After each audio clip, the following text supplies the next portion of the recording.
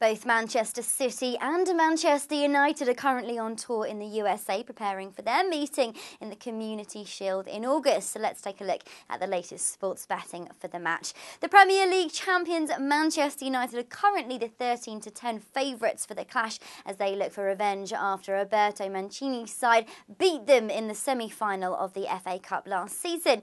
City's FA Cup win secured their place in the Community Shield, and sports betting fans can have a punt on them to beat their closest rivals at 22 to 10.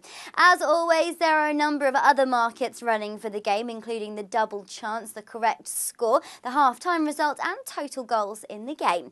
Open a Betting World account over the counter at your closest retail outlet.